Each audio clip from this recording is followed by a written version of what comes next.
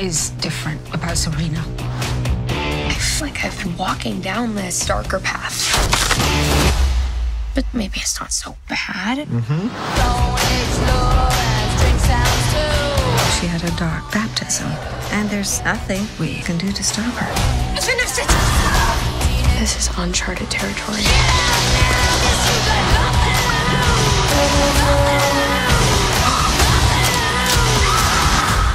Do you think you can handle it?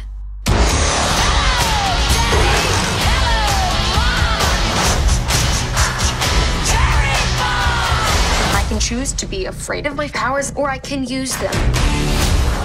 We've heard reports of levitation, the slaughter of demons, resurrection of witches.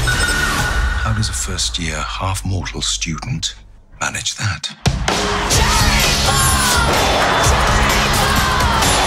Feel I must warn you. This is who I am. Sabrina!